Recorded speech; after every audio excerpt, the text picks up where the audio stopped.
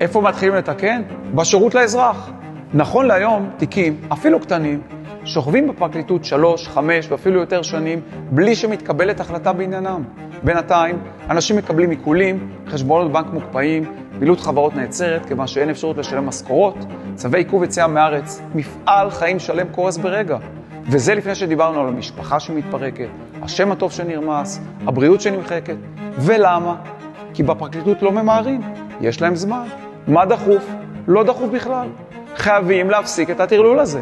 צריך לחייב את הפרקליטות לקבל החלטה תוך שנה, תוך שנתיים בתיקים מורכבים, האם לסגור את התיק או להגיש כתב אישום. לא קיבלו החלטה, התיק נסגר.